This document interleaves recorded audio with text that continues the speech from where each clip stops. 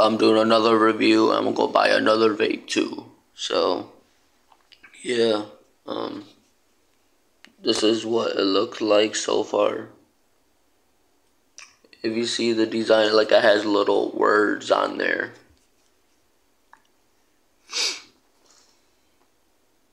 I know my shit is blurry as fuck. I lost my iPhone in the woods.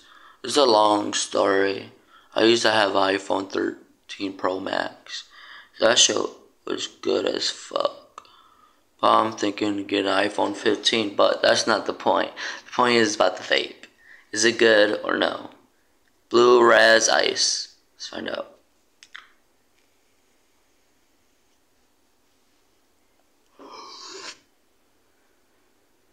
Let me start over. The Blue Raz Ice. Cheers.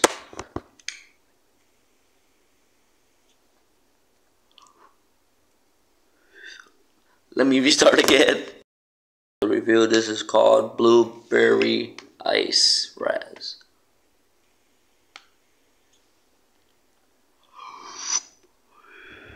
Yeah. Sorry I had to recut the video. Hey, uh, hey, let me tell you the story. Shit happens. For real. I'm high, but not that high. Trust me.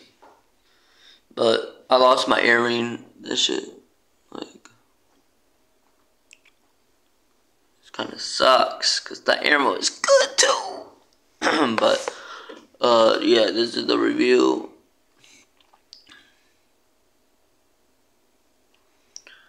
and go follow you know who you know who LacedupVapes oh he's bro he LacedupVape is the best reviewer go shout out to my boy right there on the comments below shout out to LacedupVape he's the best bro he reviews so many things bro like and he has good quality camera too on his phone like I don't know how, but his like when he blows it out, it's like cool though.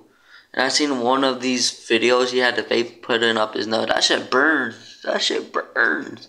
Like shout out to him, bro.